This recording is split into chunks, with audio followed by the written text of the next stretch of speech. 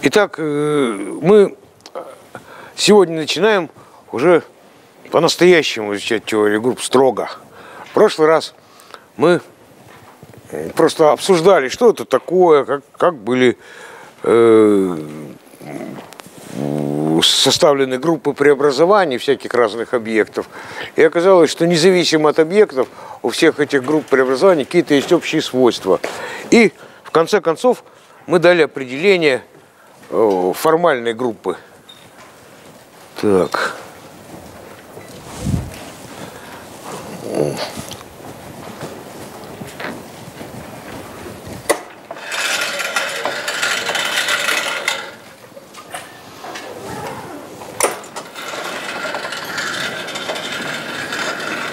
Я кого-нибудь кого попрошу за мелом сходить. Сходите, пожалуйста, Дмитрий. Я не буду без вас ничего интересного рассказывать. А, и вот появилось формальное определение группы, э, которое не зависит от того, как, что группа симметрии чего это, гамильтониана, там, молекулы, там, или э, каких-нибудь, какое-нибудь конечное множество, где мы можем шары бильярдные между собой переставлять. Вот у всех этих групп преобразований, которые оставляют множество самим собой, оказались э, общие свойства. И вот э, мы попытались выделить эти общие свойства и их изучать независимо от того, какие там объекты. Ну,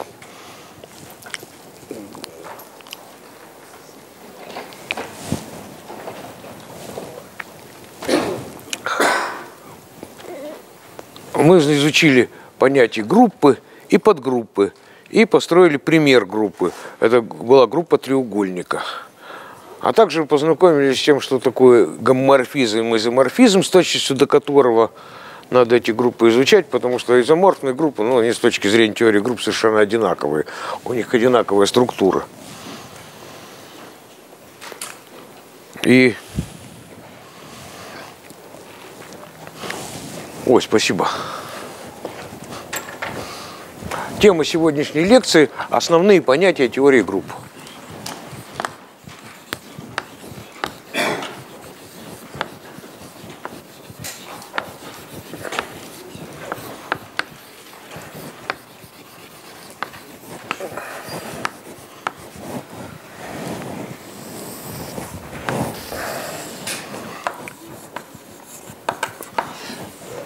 определение у нас было таким. Группа G – это множество с бинарной операцией.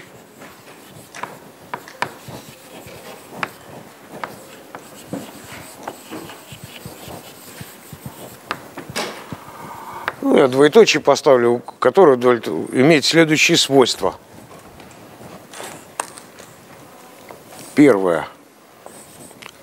А, Б, С равняется АБ на С. Второе. Существует такая единица из G, что для любого G из G 1 умножить на G равняется G умножить на 1 равняется G. И третье.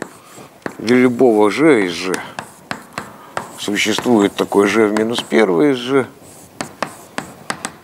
что g на g в минус 1, g в минус 1 на g равно единице. Первое свойство – это ассоциативность. Второе свойство – это существование единицы. Ну, вот вопросы были после прошлой лекции, что можно доказать, что эта единица единственная, если существует.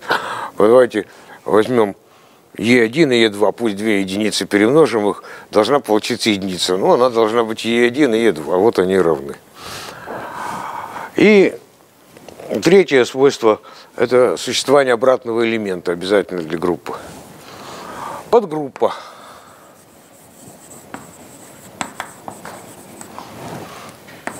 Так вот обозначается. Так же, как э, принадлежность одного множества другому, только э, у, у треугольника острый конец, как знак меньше. Вот так, такой треугольник. Это под множество группы.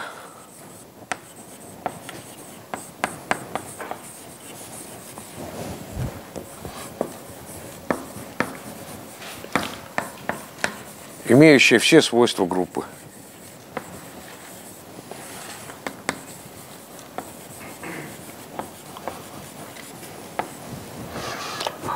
И мы вот на основании этих понятий должны еще ввести другие основные понятия и изучить как бы структуру группы, какие-то вещи, относящиеся к структуре группы. Первый пункт сегодня у нас – это а, смежные классы.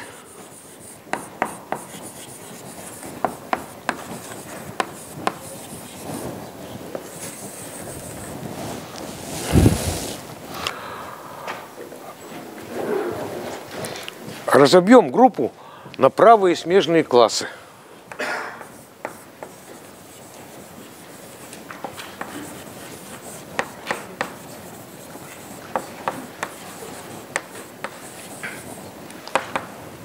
G равняется h на G1 плюс h на Gn. n G и Т принадлежат к G. А что здесь написано? Каждую букву здесь следует расшифровать.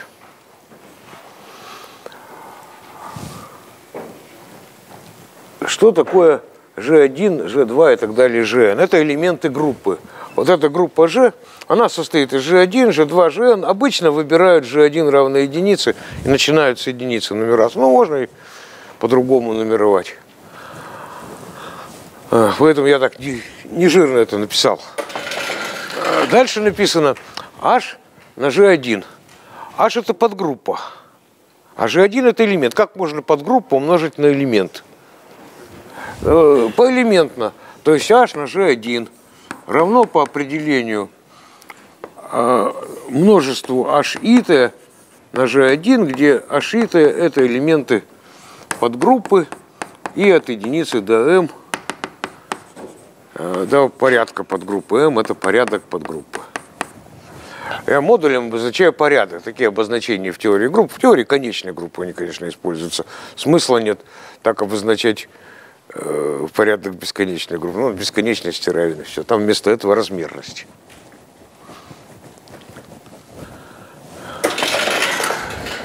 Теперь э, дальше идет плюс в этой формуле. Что означает этот плюс? тоже надо объяснять. Э, дело в том, что в теории групп есть только умножение, плюс не используется, и вот решили сэкономить знак, его используют вместо э, вот такого знака, знака объединения множеств. Плюс вот в теории групп часто используется вместо объединения. Можете смело писать вот этот знак объединения множества, тоже будет правильно, конечно, никаких сомнений. Итак, что мы сделали? Мы взяли первые элементы, всю подгруппу на него умножили, потом второе, всю подгруппу. И у нас получились такие классы. Они называются правыми смежными классами. Вот, давайте их сокращенно называть ПСК. И точно так же можно левые смежные классы определить. G равняется G1 на H плюс Gn на H. Да. А потому что все, каждый элемент группы в какой-нибудь класс входит. Ну вот, например, G1 входит в этот класс, G2 во второй, а GNT входит в NT класс. Все элементы группы входят в какой-нибудь класс. Поэтому мы всю группу разбили, ничего не осталось, никаких. Вот. А вот как они устроены, они там как-то сложно пересекаются или что. Вот э, с, об этом говорит теорема Лагранжа.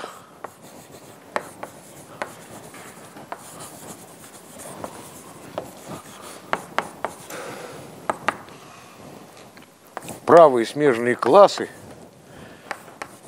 не пересекаются,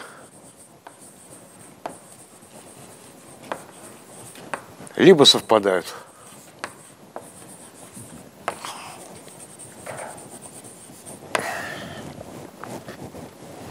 Вот такая теорема.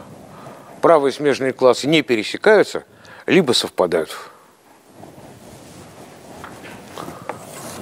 Давайте докажем эту теорему. Мы не, все подряд доказывать не будем, но это как важная теорема.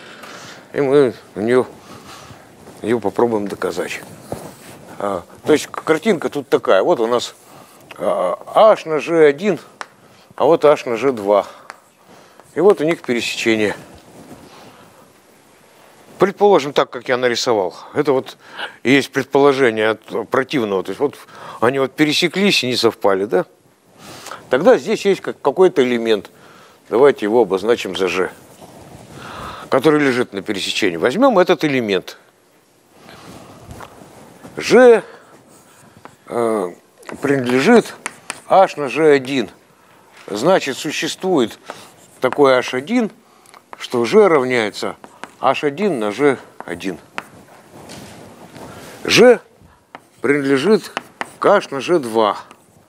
Следовательно, существует такой H2 из подгруппы, что G равняется H2 на G2. Все записали. Как бы вот как написано, так и есть, написали. Теперь вот эти вот H1 на G1 равняется H2 на G2. Вот получили такое равенство, раз это один и тот же элемент. Ага, мы, для H1 существует обратный, давайте на обратный слева умножим. H1 минус 1, G1 равняется H1 минус 1, H2 на G2. Тогда G1 через G2 выражается. Но смотрите, как выражается. Вот это вот H1 минус 1 на H2 точно из подгруппы.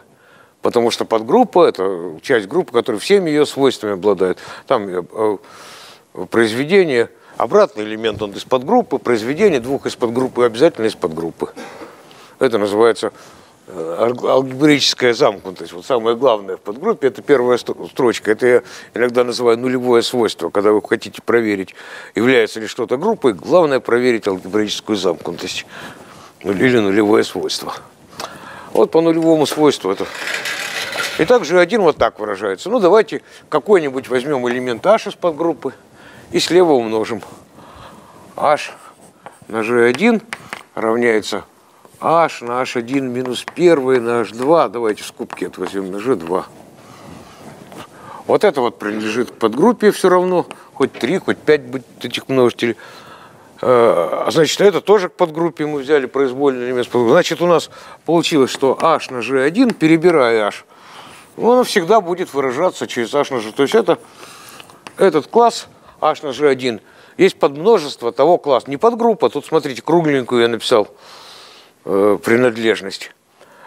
То есть это подмножество. Вот мы доказали вложение это называется, что вот это множество, что это множество вложено. Прекрасно, но откуда эти наши формулы знают, какой мы же за один обозначили, какой за два? Ну или аналогично рассуждая, или просто меняя индексы, аналогично доказываем, что HG2 подмножество так надо писать, h на g1. То есть и сюда вложение, сюда вложение, все. И единственный вывод, что они совпадают.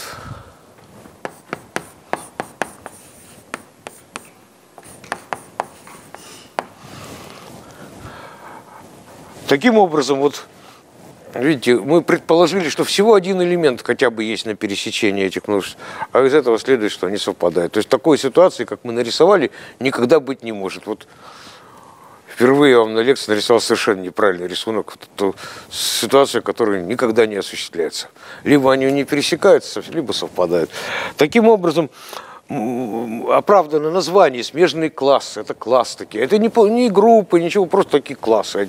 Группу разбили на классы. Такие множества, которые не переклассифицировали. Каждый элемент, можно сказать, в какой класс он попадает, и мы так всю группу классифицировали. А теперь э, давайте следствие. Следствие первое. А,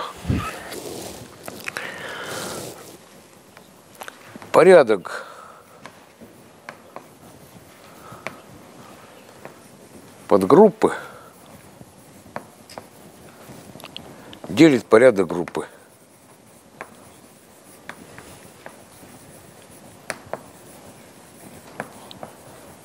Ну или в обозначениях так, порядок группы делится на порядок подгруппы. Вот. В школе, наверное, учили, что тремя точками делимость обозначает целых чисел. То есть мы хотим найти подгруппы группы треугольника. В ней шесть элементов. Тут надо искать подгруппы из двух элементов или из трех элементов? Ну, есть еще из одного и из шести, но это мы знаем, что это такие неинтересные подгруппы. Их называют несобственными или тривиальными. Э, шести элементов сама группа, из одного элемента это единичка. Она подгруппа чего угодно, но ее неинтересно даже искать. А вот из двух, из трех элементов подгруппы бывают. Их, ну, вот среди делителей этого числа можно, ну, нужно искать всякие подгруппы. Откуда э, это берется, как это доказывается? Раз они не пересекаются либо совпадают, то значит их э, классов-то целое число. Ну вот давайте зачеркнем совпадающие, останутся только не совпадающие и не пересекающиеся. Все элементы группы разделились на ровненько одинаковые классы. Ну вот, все, значит, это самый порядок. В каждом классе сколько в подгруппе элементов, значит, а их целое число этих классов. Все, значит, порядок подгруппы делит порядок группы. Вводит даже такое число индекс подгруппы в группе.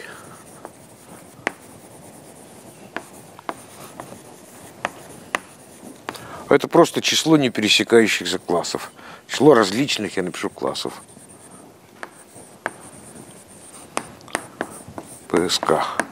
Обозначение такое. G по H. Вот, вот так обозначается индекс. G, G как бы деленное на H по модулю. А, вот делится, и сколько осталось класс, вот это и есть индекс подгруппы в группе. Можно а, точно так же индекс считать и по левым смежным классам. Классы разные, но их количество, то есть индекс совпадает. Второе следствие.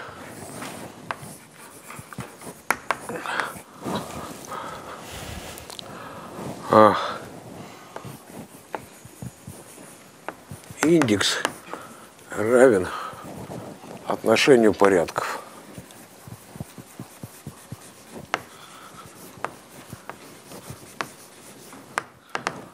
То есть g по h равняется порядок g на порядок h. Ну вот, мы с вами знаем, что в группе треугольника, представьте себе, что это треугольник, есть C3 подгруппа такая. Подгруппа в D3. C3 это просто циклическая подгруппа третьего порядка. Поворот на 120, на 240 градусов единичный элемент. Это подгруппа всей группы треугольника. Ну, вот она из трех элементов. Какой у нее порядок? Вот, какой у нее индекс, точнее? Индекс у нее двойка, да? У группы э, порядок 6, а у подгруппы 3, значит, индекс у нее двойка, да? То есть в два смежных класса получится, а все остальные зачеркнутся. По этой подгруппе мы начнем разлагать на классы. А, значит, D3 равняется а, C3 на единичку плюс C3 на R – плюс c3 на r в квадрате, плюс c3 на p, плюс c3 на pr, плюс c3 на pr в квадрате. Я разложил d3 на правые смежные классы. Давайте я напишу, что за элементы там будут. c3 на 1 это 1, r, r в квадрате. Это вот я просто c3 написал. Вот эти фигурные скобки означают ну, такой мешок с элементами множества, да, и ничего больше порядок не важен, просто это множество такое. Плюс c3 на r будет r, r в квадрате, единичка. Вот здесь будет стоять r в квадрате, единичка и r. Я воспользуюсь тем, что r элемент третьего порядка, r в пятое не пишу, а пишу r в квадрате. Плюс, теперь давайте p. 1 на p это p, r на p это pr в квадрате. И r в квадрате на p это pr. Я воспользовался тем э, свойством, которое мы в прошлый раз выводили. PR равняется r в квадрате на p и наоборот. r на p равняется pr в квадрате. r, когда перескакивает через p, возводится в квадрат. В любую сторону, куда бы ни перескакивало. Такое между ними коммутационное соотношение. Мы договорились p писать слева, и вот мы каждый раз так переписываем, чтобы p стояло слева. Плюс Значит, PR здесь стоит. А здесь, кстати, PR в квадрате стоит, тут выбора нет. Дальше. R на PR – это PR в кубе, то есть просто P. И R в квадрате на PR – это PR в пятой, то есть PR в квадрате. Здесь что стоит? А, надо на PR в квадрате умножить R. R на PR в квадрате. PR в шестой, да? PR в четвертой, извините. Просто PR, а здесь просто P. Вот мы написали все. Ну, мы видим, что этот, вот, вот, вот это вот мы написали, это то же самое, просто в другом порядке. Зачеркиваем. Это, ну, это множество, множество, это одинаковое множество. Мы его уже написали. И, кстати, видна теорема Лагранжа. Либо не пересекаются, либо совпадают, ничего другого не, не получилось. Здесь P, PR в квадрате PR. Эти все лишние. Ага, всего осталось два множества. Вот, э, значит, индекс D3 по C3 равен 2. Вот мы это проверили с вами. Да, так и должно быть по теореме 6 разделить на 3. Да, что тут? Теперь мы верим в теорему Лагранжа. В следующий раз, может быть, и не будем все выписывать. Ну, предлагаю вам в качестве самостоятельного упражнения еще и левые смежные классы. Выписать, запишите. Написать левые смежные классы, тоже честно, все до конца написать. Может, вы на семинаре это сделаете или дома при подготовке к экзамену. Еще один пример. А давайте геометрические примеры применения вот этих правых смежных классов. А, возьмем сначала группу D3, группу треугольника. Это группа вращений треугольника в пространстве его можно вращать вокруг оси, как мы знаем, и переворачивать вокруг медианы, вокруг оси второго порядка. А вопрос, какой порядок у этой группы? Ну, мы и так знаем ответ, но вот как его посчитать? Давайте посчитаем сначала Э, вот те преобразования, которые эту вершину оставляют на месте. Ну, какую-нибудь, верхнюю, например. Э, таких два преобразования. Единичное и поворот на, вокруг медианы на 180 градусов. Эти два преобразования, которые оставляют вершину места, всегда подгруппа. Ясно, что любые суперпозиции преобразования, оставляющих вершину на месте, тоже оставляют вершину на месте. Замкнутая сеть – это часть группы, все, все как надо, это подгруппа. Вот давайте по этой подгруппе как бы мысленно разложим на правый смежный класс. Какие есть классы? Есть классы, которые переводят эту вершину, оставляют на месте, которые переводят в эту и переводят в эту. Умножить на 3.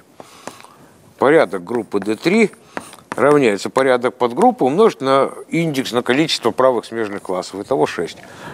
Это мы просто проверили, что ответ, который мы знаем. А давайте тут теперь еще один ответ, который мы тоже знаем. Для группы квадрат проверим. D4. Извините, D4. D4. Тоже давайте. Сколько преобразований оставляет вершину на месте? Э, два преобразования. Единичное и поворот вокруг диагонали на 180 градусов. А сколько преобразований переводит ее в другие вершины? Четыре преобразования, считая единичное. Таким образом, порядок группы D4, группы квадрата, равен 8. Ну, мы и так знали, что порядок группы dn равняется 2n. Мы это в прошлый раз проходили, там просто посчитали элементы. А вот давайте более сложную группу. Группу тетраэдра – группа вращений тетраэдра, которая у вас в задании есть. Сколько в ней элементов? У тетраэдра есть ось третьего порядка, который совпадает с высотой. Это С3. Есть ось второго порядка, который соединяет между собой две, два противоположных ребра, середины двух противоположных ребер. Вот я в прошлый раз рисовал такую гантельку, чтобы проиллюстрировать, что такое зеркально-поворотная ось. Вот как раз они так вот пересекаются скрещиваются под прямым углом эти два противоположных ребра. Если середины соединить, это будет ось второго порядка. С2. Ну и вот много-много таких вращений третьего, второго порядка. Сколько всего таких разных преобразований, вращений имеется в виду. Давайте посмотрим, сколько преобразований оставляет вершину верхнюю на месте. А, ну, три преобразования – это ось третьего порядка, единичная на 120 и на 240. Умножить на. Теперь сколько преобразований эту вершину тетраэдра во все остальные вершины тетраэдра перевод, включая единичные. 4. Получается 12. Ну, давайте еще один пример. Здесь же рассмотрим. Это О. Группа октаэдра, она же группа куба. Ну, дело в том, что октаэдр и куб являются дуальными многогранниками. А, если взять середины э, грани куба, соединить между собой, вот ровно центры, то получится вписанный октаэдр. И если теперь крутить по-всякому куб, то октаэдр будет также крутиться. У них группа одна и та же, поэтому группа куба отдельного обозначения не имеет, так ее и называют, группа октаэдра. Какой, какой порядок у группы октаэдров? Какие у куба есть элементы симметрии? Ну вот есть ось второго порядка такая же, С2, которая соединяет э, середины противоположных э, ребер. Середины противоположных ребер. Есть э, очевидная ось четвертого порядка С4, которая соединяет середины противоположных граней. И есть менее очевидная ось третьего порядка а, давайте отдельно нарисую, чтобы не путалось. Возьмем какую-то вершину и отложим по единичке по всем трем координатам. По ребру отложим по единичке. И вот посмотрим, что у нас за фигура такая здесь образуется в сечении. Поскольку мы всюду по единичке отложили, то получились, э, получился треугольник, у которого каждая сторона корень из двух – то есть это равносторонний треугольник, значит, вот через эту вершину, перпендикулярно плоскости треугольника, проходит ось третьего порядка С3. Ну вот, есть С4, С2, С3, ну, в общем, много-много осей. Сколько элементов, какой порядок у группы, возникает вопрос. С помощью правых смежных классов мы сейчас на этот вопрос ответим. У нас есть ось третьего порядка, проходящая через вершину. А теперь вопрос, сколько классов, какой индекс, сколько, сколькими, ну, сколько вершин, столько и такой индекс. То есть 8 умножить на 8 надо. 24 элемента в группе октаэдра и в группе, она же группа куба. Вот для чего нужны правые смежные классы, просто для того, чтобы хотя бы для того, чтобы считать порядки разных геометрических точечных групп, которым э, подчиняется симметрия молекул. Пункт 2. Инвариантная подгруппа.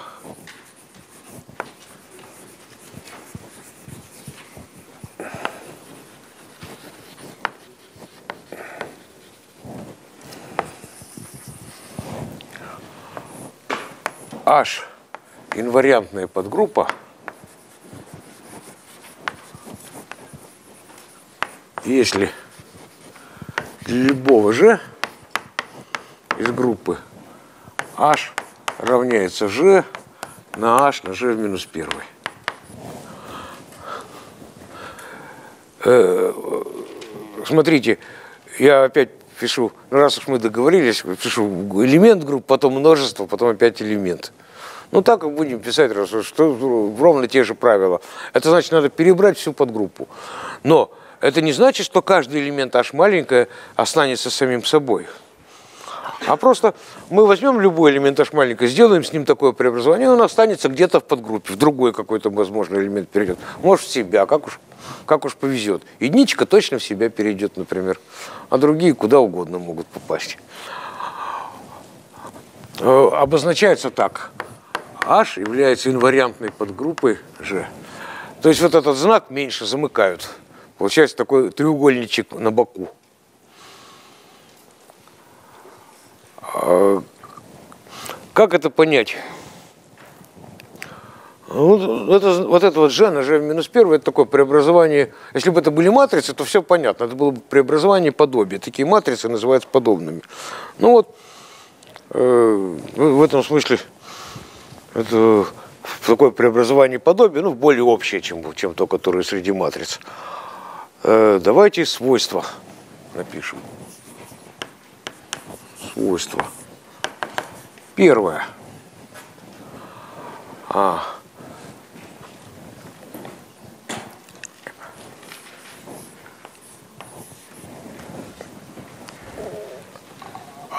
А, нет, давайте, не, не, не, не, не, не, не, не надо. Свойства не надо. Значит, инвариантная подгруппа э, позволяет сделать вот что. Давайте попробуем как бы мыслить абстрактно. А давайте теперь э, посмотрим на правые и левые смежные классы. Если подгруппа инвариантная, то правые и левые смежные классы совпадают. Если H инвариантная подгруппа в G, то G на H равняется H на G. Давайте какие-нибудь для определенности правые. Я это доказывать даже не буду. Ну, вот видите, это отсюда следует прямо. Давайте я а, правые и левые смежные классы, любые, возьму правые смежные классы, например. И теперь каждый класс – буду считать элементом нового какого-то множества. Вот свойство этого множества мы сейчас изучим.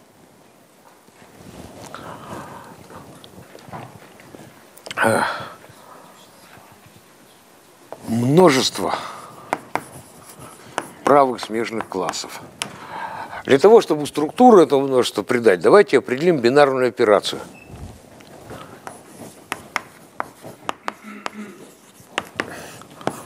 h на g1 вот такой класс. Надо умножить на другой класс, h на g2, на правый смежный класс. Что получится? Ну, поскольку э, g маленькое, h большое всегда можно переставлять, мы только что тут написали. Давайте переставим и так и определим. Равняется по определению h на g1, g2. Вот так определим. Я три палочки поставлю, здесь разница. Это определение наше. Давайте проверим что вот то, что вот получилось у нас, является группой. Для этого надо проверить все аксиомы группы. Алгебраическая замкнутость очевидно. Э, ясно, что если мы два класса перемножим, мы тоже какой-нибудь класс и получим вот просто по, по этому определению. h на g1, g2. Вот тот класс и получим. А, ассоциативность.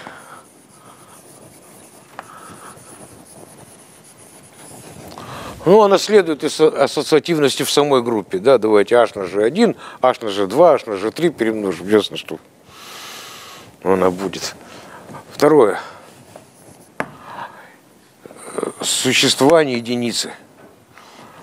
h умножить на 1, это вот можно обозначить это вот за такую жирную единицу. Это и будет единица в, этой новой, в этом новом множестве, состоящем из классов. И третье – h на g в минус первый, пусть это, это есть h на g в минус первой степени. Как это доказать? Ну, h на g в минус первой степени равняется g минус первый.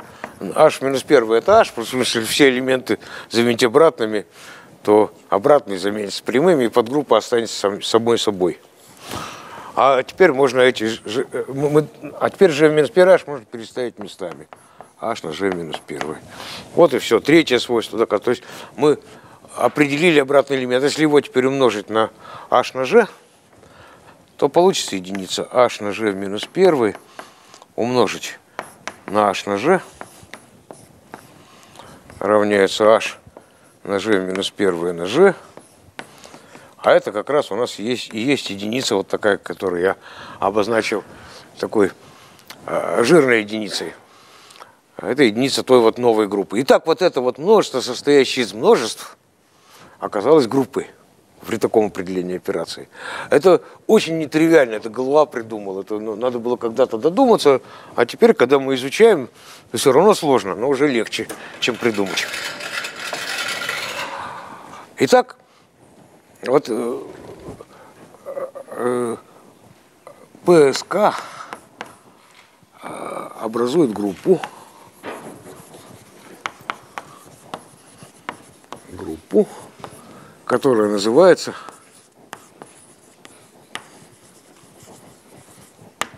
фактор группы.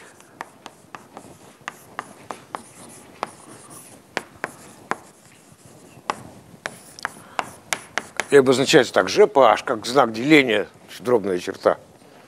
GPH. Вообще-то фактор множества в математике встречаются не только в теории групп, везде встречаются. Э, если грубо объяснять качественно, так это значит с точностью до. Вот мы хотим какими-то там деталями пренебречь, там, ну, зажмурить глаза и вот грубо расклассифицировать чего-нибудь, вот тогда фактор множества возникает. Фактор группы это означает, что уже с точностью до вот этой подгруппы. Ну, не смотрим мы на эту подгруппу. Давайте посмотрим, рассмотрим какой-нибудь пример. Э, пример будет такой. Давайте проверим, что C3, вот эта самая, которая у нас была, что она является инвариантной подгруппой в D3. Ну, что нам надо? Вот это вот 1 r в квадрате, это, соответственно, вся группа. Нам надо проверить, взять э, э, вот r в какой-то степени, ну, скажем, r, а здесь поставить p и p в минус 1. P минус 1 это тоже p. И проверить, что опять получилось какой-нибудь r в какой-то степени. Ну, давайте проверим. Для этого нам надо вот сюда r переставить. Будет p в квадрате, r в квадрате. p в квадрате единица, значит, будет r в квадрате. То есть r переходит в r в квадрате при таком преобразовании подобия. Ну, соответственно, r в квадрате, давайте напишем, это будет p в квадрате, r в четвертой. То есть будет r. R в квадрате в r переходит при таком преобразовании. То есть все, э, подгруппа переходит сама в себя. Ну, если вы домашнюю задачу сделаете, и левые смежные классы посмотрят, то они тоже совпадут, естественно, с правыми. Это мы формально доказали. Итак, C3 является инвариантом. А теперь неформально докажем. Давайте, пусть это треугольник, вот мне не выдают треугольники вот там в лаборантской комнате, поэтому оно зато у вас воображение. Пусть это треугольник, давайте э, верхнюю часть этого треугольника красным закрасим, чтобы она отличалась от нижней части. Что такое С3? Это мы вращаем треугольник плоскости, красный остается сверху. А П, ПР, ПР в квадрате мы переворачиваем. Все, уже не закрашенной стороны сверху он становится. Значит, мы, э, что мы должны сделать? Мы должны Ж и Ж в минус первое сделать. То есть перевернуть это П покрутить сколько-то раз и перевернуть обратно. И красная сторона вернется, останется сверху. Вот э, поэтому это, э, это соответствует тому, что мы r там, или r в квадрате как-то повернули единично, что-то сделали в плоскости. То есть это инвариантная подгруппа. Вот, вот мы так вот доказали чисто геометрически. Теперь давайте, э, что такое будет d3 по c3. В этой группе будет всего два элемента – и они будут э, так, такие, э, красные сверху или красные снизу. Красное сверху осталось, это единичное преобразование, а это будет P. Вот такая группа. Один, единичка будет. И давайте P большое обозначим, вот так вот такая вот группа. Такая, что P в квадрате равно единичке. Красный, красный перевернули, это P. Два раза перевернули, опять красное сверху.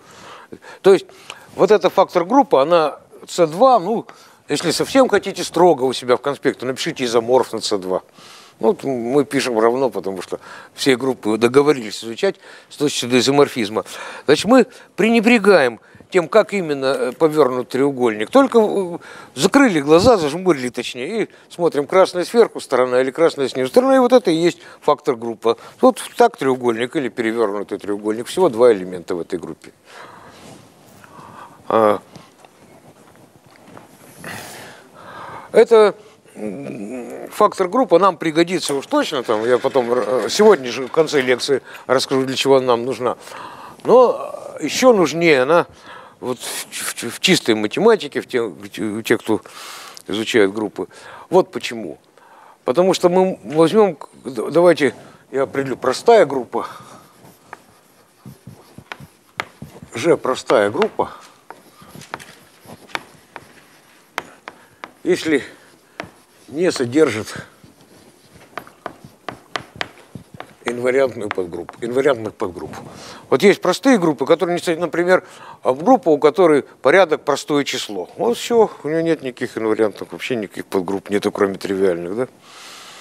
Вот. То есть у некоторых групп нет инвариантов, а у некоторых есть. Давайте, а если э, возьмем какую-то огромную группу с огромным порядком, найдем инвариантную подгруппу, если она есть. И по ней профакторизуем, то есть найдем фактор группы. Это опять какая-то группа уже меньше, и легче изучать. Давайте опять найдем инвариантную подгруппу и по ней. И так будем понижать до тех пор, пока все в какой-то момент не найдется. Вот тогда останется простая. Э, ну, это примерно как простые числа. Если мы простые вот э, группы вот эти вот как-то расклассифицируем, то для всей теории групп это будет конечных, это будет большая, большая подмога. И вот эту факторизацию используют для классификации простых групп. Ну, давайте, это мы не будем это спрашивать на экзамене, там, не бойтесь, это просто я расскажу в качестве иллюстрации классификационные теоремы. Что такое классификационные теоремы?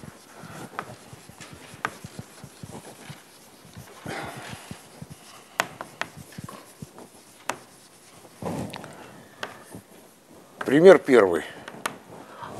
А, а, давайте я два примера приведу. Первый пример очень простая теорема, а второй очень сложная, чрезвычайно сложная. Очень простая теорема такая. Э, все дискретные подгруппы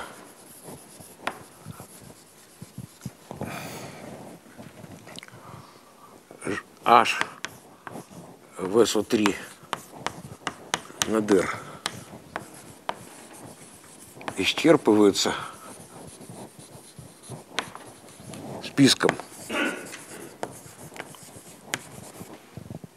СН, ДН, ТОY. СО3 на ДР это группа вращения трехмерного пространства. В прошлый раз мы это говорили. Группа матриц 3 на 3 с определителем единиц ортогональных. S означает, что определитель единицы, О, что матрицы ортогональные, R, что вещественные. А, вот эта группа непрерывная, у нее три угла вращения, углы Эйлера, например, да? И она непрерывная, континуальная такая, она, у нее размерность тройка. А эти группы дискретные. Вопрос, какие дискретные подгруппы есть? То есть какие есть у молекул или у геометрических фигур в трехмерном пространстве разные группы. Только, если только вращение брать, вот не брать отражение. Оказывается, э, их не очень много. Есть CN и DN. Это группа циклическая. Это просто группа вращения там, треугольника или n-угольника в плоскости. Да?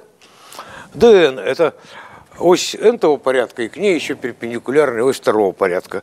Это типа D3, D4, которые мы сегодня рассматривали. Такие вот называются серии. А эти называются, э, это вот э, у них индекса нет, это вот такие, вот одна такая группа есть и все, или там в данном случае три такие группы. Они называются парадические.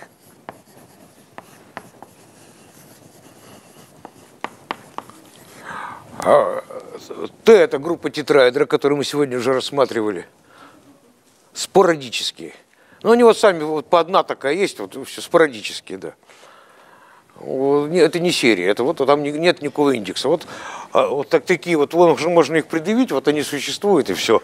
Это группа тетраэдра, которую мы сегодня рассматриваем, группа октаэдра, которую мы тоже сегодня рассматриваем, и Y мы не рассматриваем, это группа икосаэдра. Ну, мы знаем, что Пять платоновых тел есть, а не, а не три. Ну, вот октаэдр и куб мы уже объяснили. Они друг по отношению к другу являются дуальными многогранниками. У них группа одна и та же. Точно так же одна и та же группа у додекаэдра и косаэдра. Э, э, додекаэдр я вам нарисую как-то так условно. Он из пятиугольников стоит, там футбольные мячи такие делают. Это, а икосаэдр, это теперь надо к нему дуальный. То есть середина этих пятиугольников надо соединить между собой. Будет икосаэдр. Вот у них есть своя группа. В Ландау и Лишце написано, что э, таких молекул не встречается. На самом деле встречается. Наверное, тогда давно, больше 50 лет назад, не встречалось. А сейчас такие молекулы есть, тоже это важная группа и так далее. Ну вот три спорадические всего группы, вот, которые соответствуют нашим пяти много... платоновым телам, пяти правильным многогранникам. И две серии, вот и больше ничего нет. Это очень простая теорема, то есть, ну там, надо лекцию, конечно, потратить, или пол лекции на ее доказательство, мы доказывать не будем, но в печатном варианте лекции есть доказательства, тут вы вполне разберетесь. И пример второй, это чрезвычайной сложности теоремы. Это теорема классификации простых групп. Я даже ее формулировать не буду. Простые группы.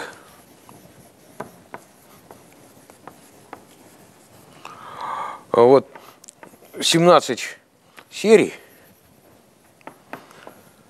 26 спорадических групп.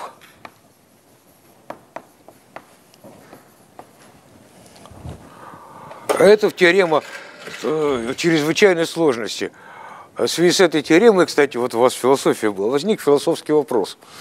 И никто не смог ее как бы целиком доказать, ее разделили между собой несколько университетов, и каждый кусочек свой доказывал, потом собрали вместе, получилось там 10 четвертой страниц текста доказательства.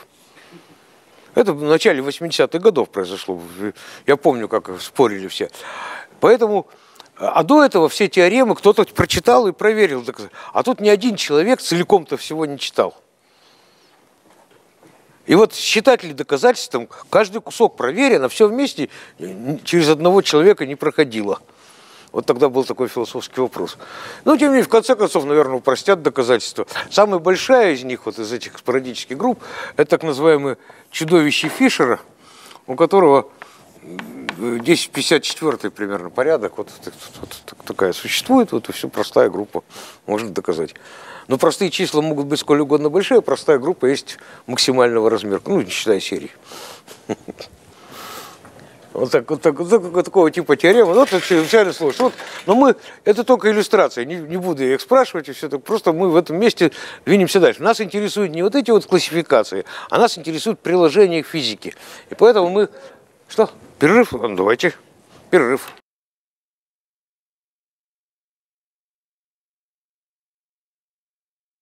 Все вопросы, которые задавались, были на одну и ту же тему, про фактор-группу. Действительно, эта идея очень нетривиальная, я с удовольствием объясню еще раз. Вот вопрос был такой, а что это я вот сейчас доказываю вообще, что здесь такое я пытался доказать, и почему я написал h на 1 равняется какая-то жирная единичка, а не h. h это было бы, так сказать, очевидно, а почему-то я не это написал. Я делаю такую нетривиальную вещь. Я взял группу разбил на правые смежные классы. Вот на этот, на этот, на этот. А теперь сами классы я объявил элементами нового множества. Ну, это, конечно, множество, состоящее из классов. Теперь я определил на них операцию. Вот оно определение операции. А теперь я доказываю, что у этой операции все три свойства, как у группы. То есть у нее есть ассоциативность, есть единичка. Вот жирной единичкой обозначил такой класс h умножить на 1 или h на g1, как мы здесь писали. Вот самый первый класс я обозначил жирный. Это h и есть, да. Но э, теперь это, она играет роль единицы в новом этом множестве со структурой группы. И последний обратный элемент, естественно, h на g минус 1. Все, если все это есть, то этого достаточно. Это значит уже группа. Группа, состоящая из классов. То есть мы группу разбили на классы, из них опять составили группу. Вот, такую, вот такая вот нетривиальная идея. Эта группа называется фактор группы. Пожалуйста. Вот, вот, вот мы определили, мы, мы явно ввели. Нет, мы могли бы доказать, что она существует, но мы здесь-то ничего такого не делали. Мы явно вот написали прям, конструктивно это называется в математике. Теперь э, двигаемся дальше. Третий пункт у нас, то, что я э, по ошибке даже уже начинал рассказывать, это э, сопряженные элементы –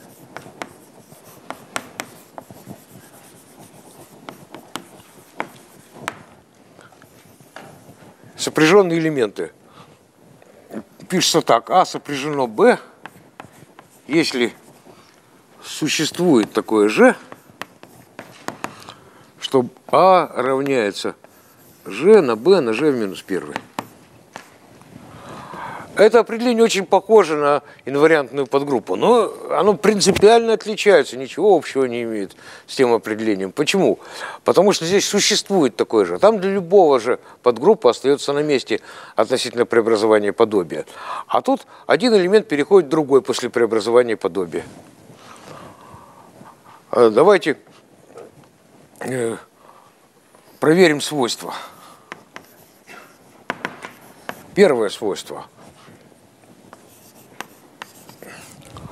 А сопряжено с А.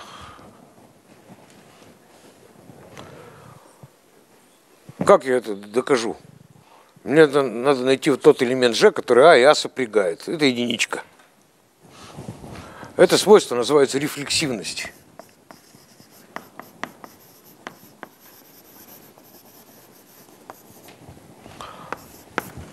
Второе свойство. Если А сопряжено с Б, то Б сопряжено с А. Это свойство называется симметричность. Как доказать это свойство? Ну вот, давайте вот на это равенство посмотрим, на определение. Э, как доказать? Ну, надо справа на g умножить, а слева на g в минус первый. Тогда будет b равняется g в минус первое на а на g. Все. G минус первый тот элемент, который их сопрягает. Все, значит, если а сопряжено, b сопряжено с а. И третье. Если а сопряжено с b, а b сопряжено с c, то а сопряжено с c. Это называется транзитивность.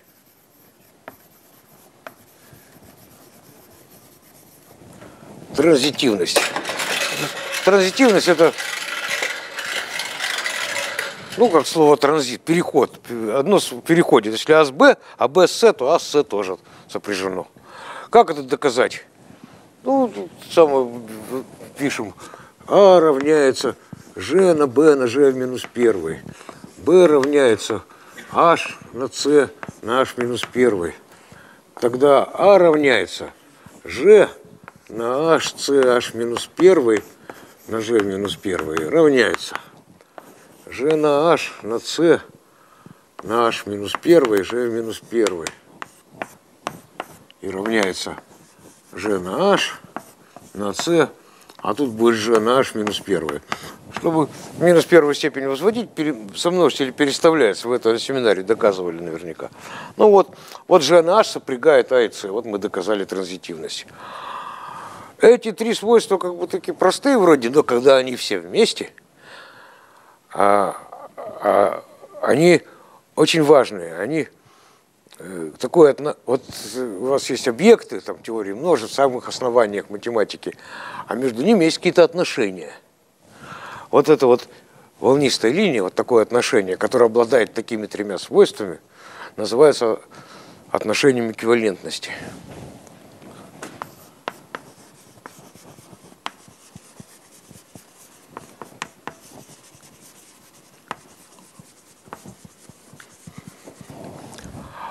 Свойство отношения эквивалентности очень всего одно, но очень важное.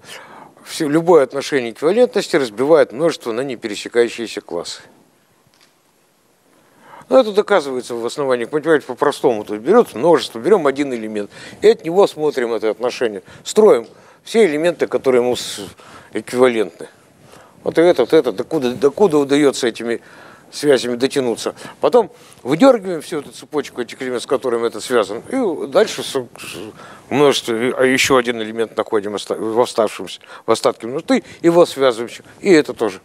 Не, не может так быть, чтобы два таких выдернутых нами кусочка были между собой связаны, потому что по рефлексивности, симметричности, транзитивности только так может быть. Вот так, у каждого свои там есть с ним эквивалентные, а других нету.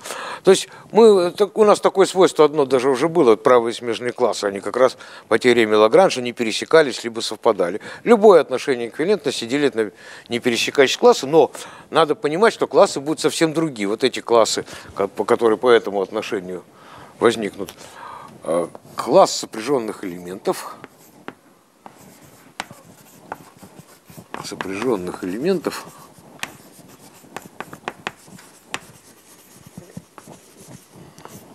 будем писать класс сопряженных элементов, КСЭ. Вот это вот все, множество всех элементов, которые сопряжены данному.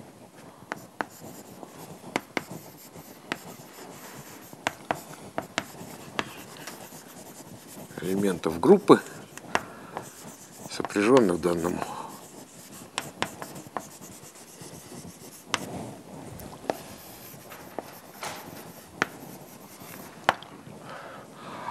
А, давайте сформулируем чисто геометрические правила, как в молекулах определять, какие элементы сопряжены.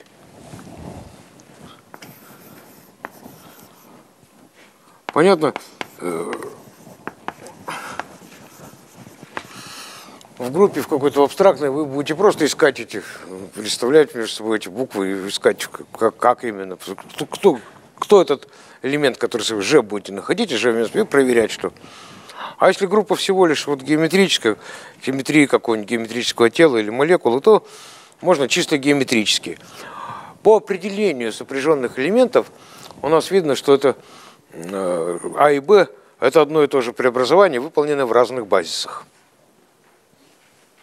Ну, если это геометрическое тело, то это просто матрицы. Вот все эти элементы, это просто можете считать, что матрицы. 3 на 3. Э, вот давайте э, я нарисую. Возьмем, значит, поворот вокруг оси СН На угол φ, который равен 2π делить на n. Вот эти два поворота на угол φ вокруг двух разных осей сопряжены между собой или нет?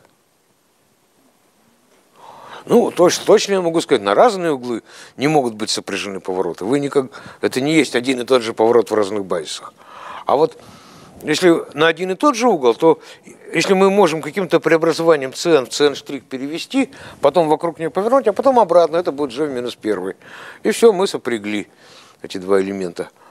Таким образом, геометрическое правило первое будет такое. Э, повороты на один и тот же угол –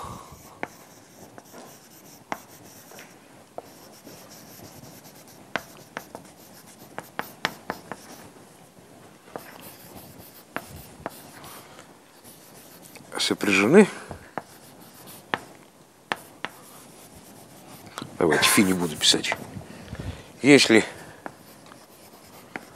в группе имеется преобразование –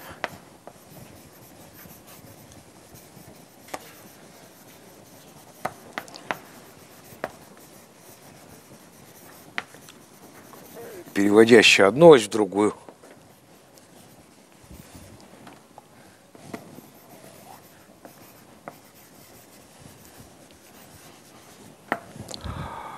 Я написал, что э, два преобразования, поворота на один и тот же угол вокруг различных осей сопряжены, если в группе есть преобразование, переводящее одну ось в другую. А теперь второе правило. Это уже по, по поводу одной и той же оси. Повороты вокруг одной оси.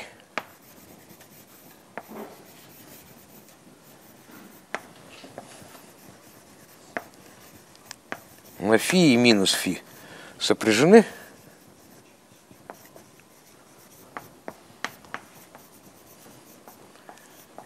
Если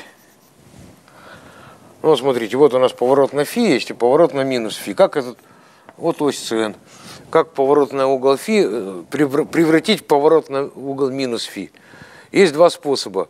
Один, давайте перевернем ось. То есть пусть будет у нас здесь С2, ось второго порядка, перпендикулярная данной. Тогда мы перевернем, и вот на картинке видно, что фи превратится в поворот на минус фи. И другой способ такой – Давайте вот у нас СН есть и поворот на угол фи.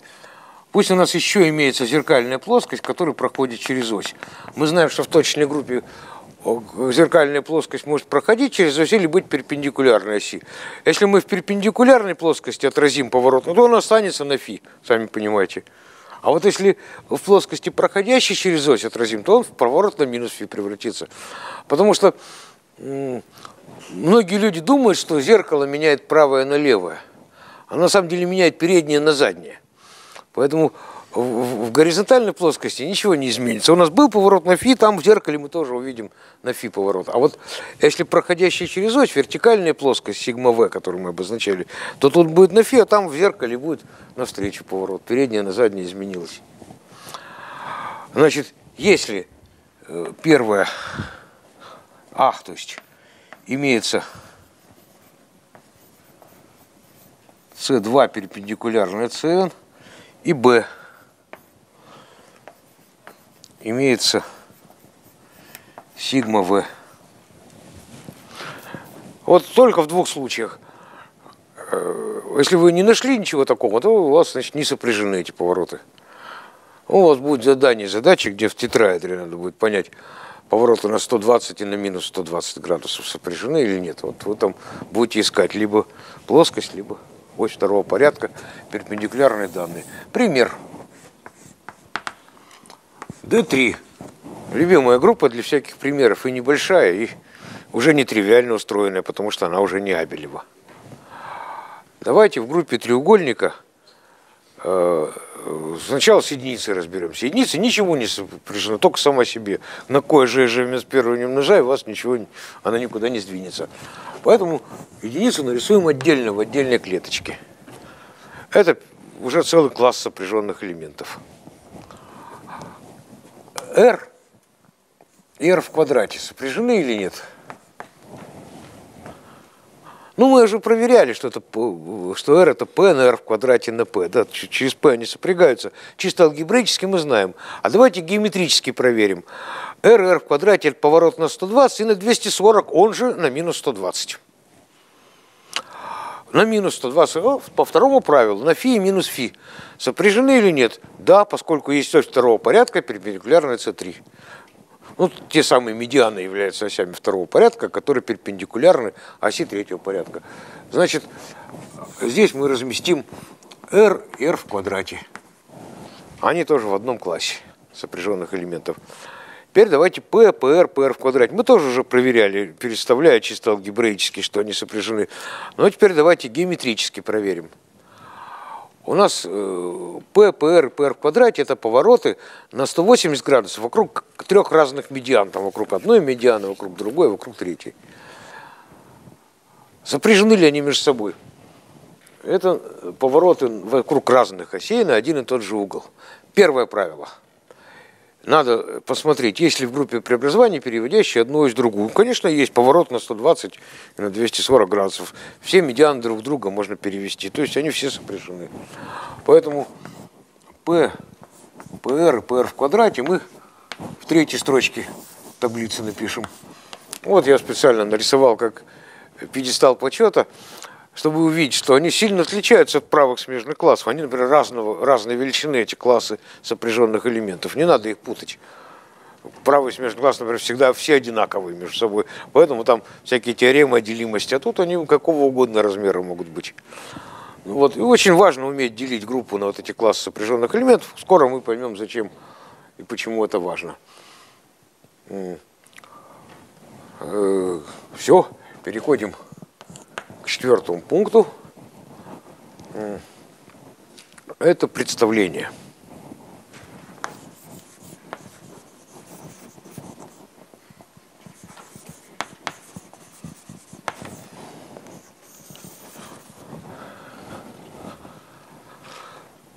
Ну, вот в этом месте мы заканчиваем как раз абстрактную теорию групп. Мы ее начали сегодня, сегодня же уже закончили. А нас интересует не группы вообще абстрактные, а нас интересует, как, как их применять в физике. Для этого надо как-то записать элементы группы в виде матриц. Вот вся наука о том, как записывать элементы группы в виде матриц, называется теория представлений. А что же такое представление группы? Строго говоря, это гомоморфизм.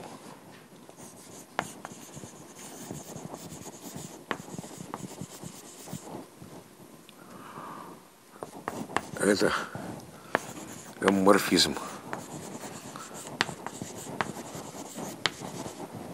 G в D от G.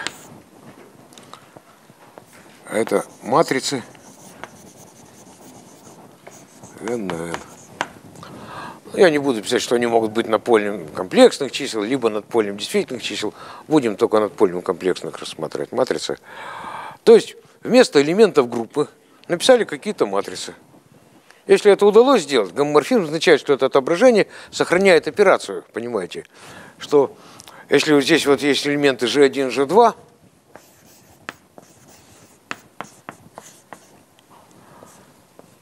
то, то, то, то тогда D от G1, G2 равняется D от G1 на D от G2. То есть, вот это я просто написал а, еще раз вам определение гомоморфизма. D, вот эта матрица от произведения двух элементов, это произведение соответствующих матриц. Ну и все, тогда нам не надо эти сложные правила коммутации, порождающие элементы там помнить. Все, матрицы перемножаем, это каждый помнит, как матрицы перемножать. Вот. Есть и в теории группы еще другие представления, но мы будем только матричные представления, поэтому будем говорить просто представления. Вообще, есть ли хоть одно представление? Может, это я так сочиняю? Ну, определение дал, а объекта такого и нету.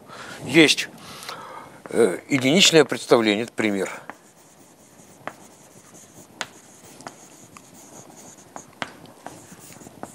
Вот такое представление. Давайте все элементы группы любой отобразим в число равное единице.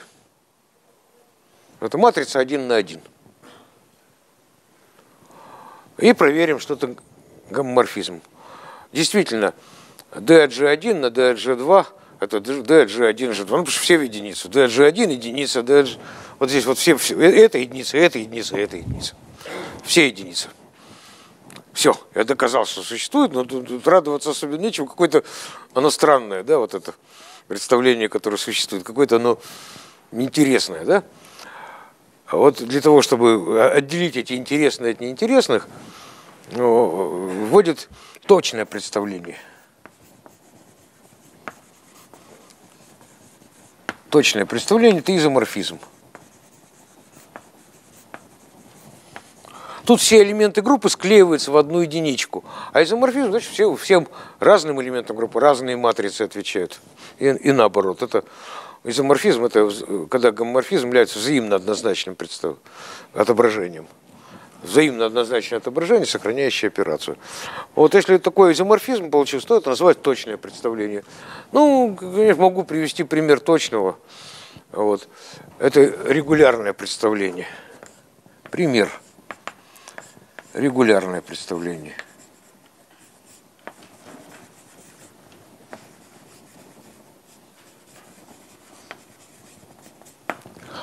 Что это такое? Конечную группу можно записать в виде таблицы умножения. Давайте все элементы группы пронумеруем. Единичный элемент напишем, если группа порядка n, напишем единичную матрицу n на n. Порядок группы n, тогда единичку группы отобразим в en. Единичную матрицу n на n. А дальше какая-то следующая строчка, первая строчка это единица, умножить на все это же остается. Вторая строчка, там P или там R умножить на все, что-то там получается. Э, вот то, что получают строчки, как мы помним, из э, прошлого, с прошлой лекции, те же самые элементы, только в другом порядке стоят. Давайте этот порядок как-то зафиксируем вот, в виде подстановки. Первый элемент переставляется на третье место, второй на четвертое, там, так вот и напишем. И этой подстановкой подействуем на единичную матрицу. То есть переставим строчки единичной матрицы, так же, как вот эта соответствующая строчка таблицы умножения переставляет элементы нашей группы. Ну, по каждой строчке построим свою матрицу. Все эти матрицы будут получены из единичной путем перестановок строк каких-то. Вот эти все матрицы, полученные из единичной, представляют группу. Это точное представление, оно называется регулярное. Оно есть у любой группы конечное. Оно имеет на матрицах n а, оно такое теоретическое значение имеет. Для доказательства теорем использовать никому оно, конечно, не нужно регулярно. Только доказывает, что точное существует. Размерность представления – размерность представления. Дим ДГ – это просто размер матриц. То есть просто вот матрицы там 5 на 5 получилось, пятимерное представление, говорят. А, прямая сумма.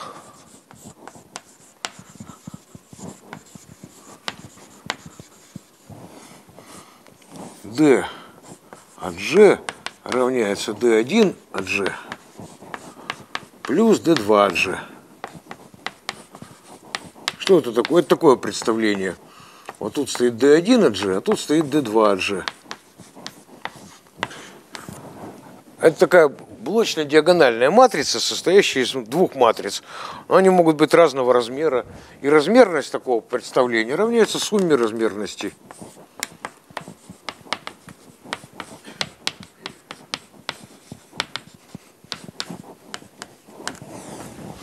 Ну, просто вот, вот так вот такую блочную матрицу напишем и все. Это и будет прямая э, сумма двух представлений. А теперь эквивалентные представления.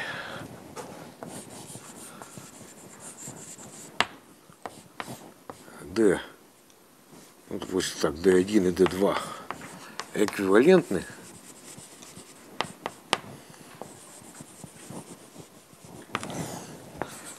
Если существует такая матрица V, что D1 равняется V на D2 от G, да, пишу на v минус 1.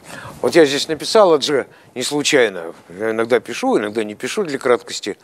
Но здесь я написал d от g, а не написал v от g. v это константа, это матрица, не зависящая от элемента группы. Существует такая одна v на всех. Вот если взяли два представления смотрим, оказалось, что есть такая матрица, которая все матрицы одного представления приводит к матрицам другого представления. Тогда мы говорим, что представления эквивалентны. Это тоже отношение эквивалентности, понятное дело. Ну, так, такое же, как вот там у нас было, э, чуть-чуть выше на сегодняшней лекции. Поэтому оно делит всем представление на непересекающиеся классы. То есть имеет смысл только какой-то один класс изучить, а все остальные, они точно такие же. И представление обычно изучается с точностью до эквивалентности. Естественно, какой же выбрать из эквивалентных представлений? Ну, естественно, то, которое самое простое. О, вот тут-то возникает приводимое представление.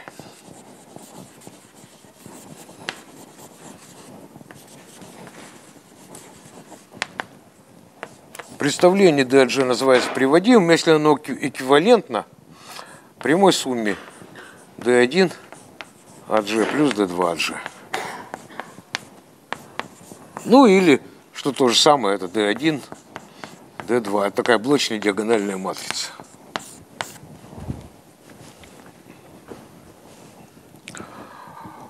Два замечания сделаю.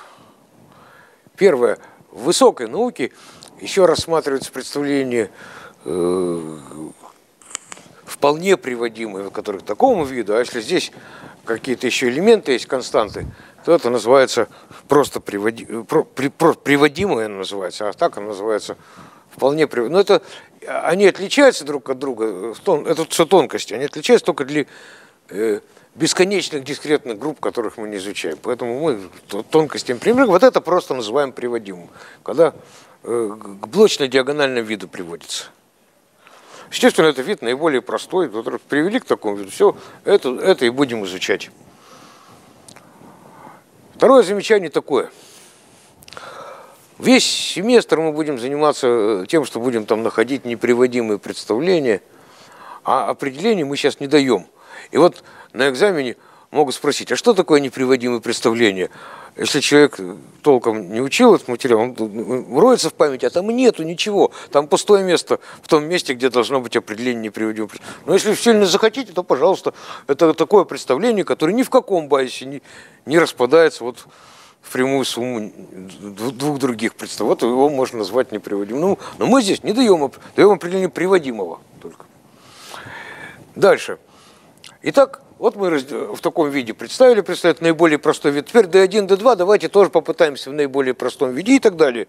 И в конце концов мы разобьем наше представление вот такую прямую сумму неприводимых представлений. Э, цель я напишу. Разложить представление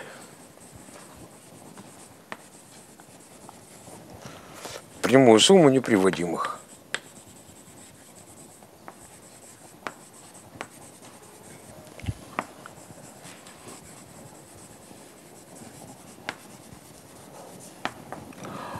И вот мы дальше, в следующей лекции, будем учиться это делать. Для этого надо нам сначала научиться сами неприводимые представления, понимать, сколько в группе, какие неприводимые представления есть у данной группы. Ну, хотя бы для нехитрой группы. Я не собираюсь вас там чудовище Фишера учить. Но хотя бы для группы треугольника и тетраэдра надо уметь это делать. Вот я что хочу сказать. Поэтому Давайте мы сегодня сформулируем свойства представлений.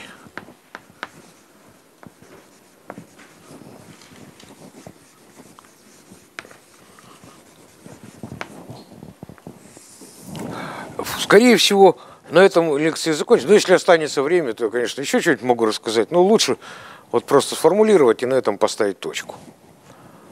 А, первое свойство – все неприводимые представления Абелевой группы одномерны.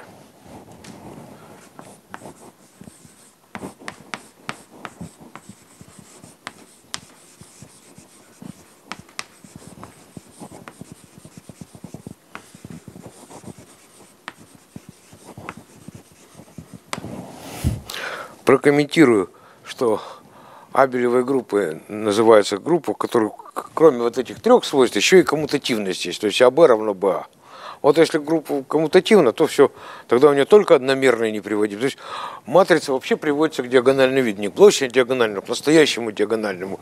Любая матрица группа приведется к такому виду. Второе. Количество неэквивалентных. Неприводимых. Представлений, я так буду сокращать, равно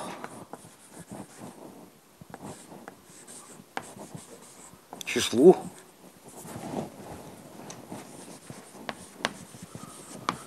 Классов сопряженных элементов. То есть вот в группе треугольников, с примера, например, глядя, который еще я не стер, э, где пьедестал почета – мы видим, что три всего неэквивалентных неприводимых представлений бывает у группы треугольников. Больше нету никаких. Третье. Сумма квадратов размерности неприводимых представлений.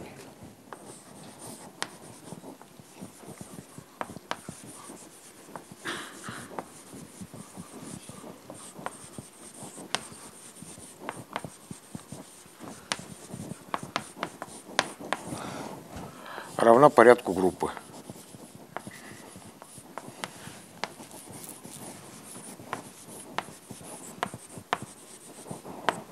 Ну или в виде формулы сумма по альфа n альфа в квадрате равняется порядку группы, n альфа равняется дим d альфовая от g.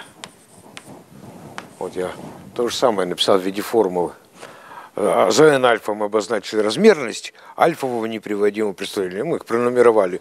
Там d1, d2, ну, сверху пронумеровали в скобочках, чтобы ничем не путалось. И после этого вот взяли квадраты, сложили, и получилось, должна всегда получаться э, одна и та же величина, порядок группы. Вот. Этих двух свойств обычно хватает, чтобы у э, нехитрой группы найти все размерности. Я уже не могу говорить о простой, потому что простая это уже жестко зафиксированное нечто. Поэтому я говорю, у них хитрая группа. Четвертое. Представление. Фактор группы.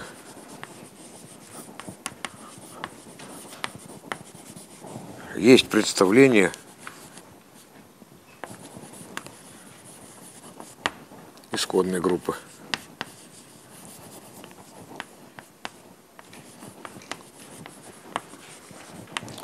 Фактор группы всегда поменьше порядок имеет, его не легче найти. Или мы там уже заранее знаем неприводимые представления, или она Абелева совсем хорошо. Как в нашем примере, фактор группы в С2 вообще Абелева, ее там ничего не стоит найти все представления, все одномерные. Все, они уже точно являются представ... Э, представ... неприводимыми представлениями самой исходной группы. И нам останется там какие-то найти, но часть мы уже сразу заранее знаем, если нашли инвариантные подгруппы и фактор группы. Вот для чего мы изучали это основное понятие. Фактор группы в Ландау нету, но вещь нужная. Э, если матрица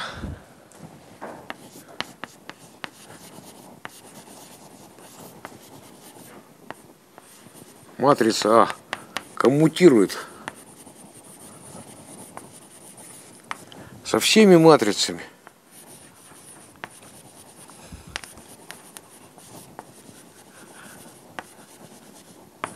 неприводимого представления, то она скалярная.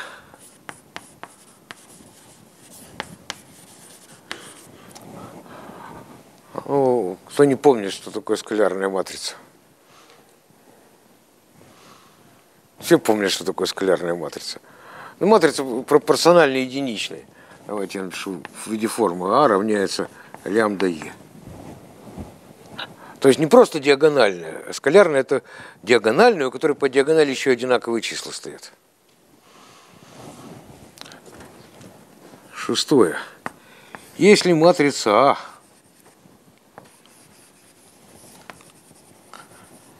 связывает два неприводимых представления D1 от G на А равняется А на D2 от G, то вот слово связывает, вот определив, вот что-то такое. То есть D, взяли все матрицы D от G, означает, что в G перечисляем, а это соотношение остается. Матрица А при этом одна. Я не пишу, что А от G. Вот связывают. То есть они, кстати, прямоугольными могут быть эти матрицы А, если представление разных размерностей. Но она все равно связывает. То либо А равно нулю, либо размерность D1 равняется размерности D2 и D1 эквивалентно D2. То есть, если матрица А связывает два неприводимых представления, то она либо нулевая, либо, э, ну, понятно, что она вот и есть та матрица, которая, они эквивалентные, она вот это, есть эта матрица В, которая связывает два представления, просто та самая матрица перехода к тому, к другому базису, в котором это самое. То есть, либо так, либо эдак. Эти два свойства нужны для доказательства других свойств. Они называются леммы Шура. Именно про них писал Ландау, что, вот самое, что не нужно самое, доказывать леммы Шура в самые общие формулировки. Поэтому я доказывать не буду. Раз Ландау призывал не доказывать. Но для любознательных в конце лекции есть приложение, где все доказано. Ну, не буду я делать это здесь. И седьмое свойство – а называется соотношение ортогональности.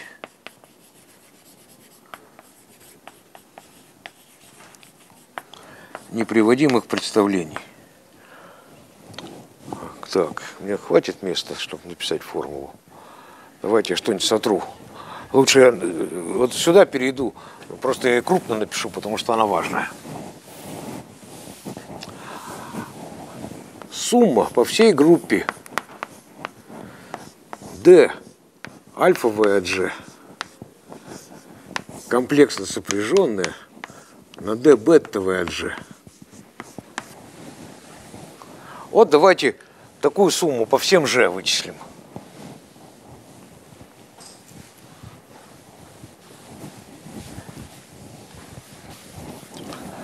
равняется G на, на альфа, дельта альфа бета – а еще давайте поставим эти, здесь вот ежи, а здесь индексы.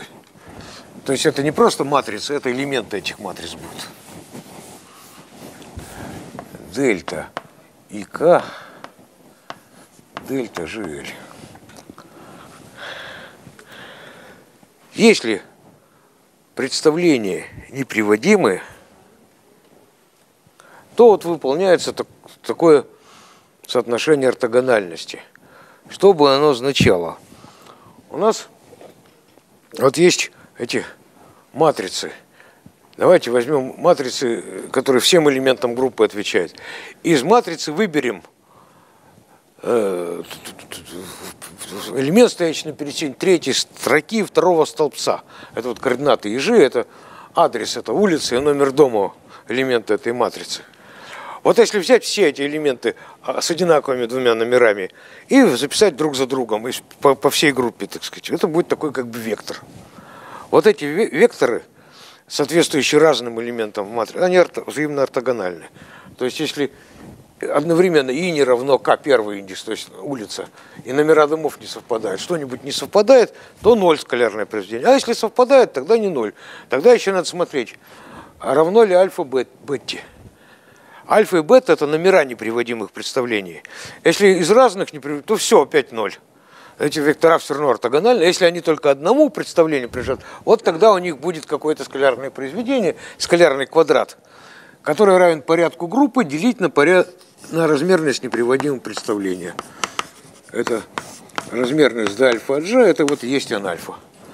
То есть мы должны разделить порядок групп, это и будет квадрат длины вот такого вектора, составленного из, там, из, из э, элементов с двумя одинаковыми индексами всех матриц группы.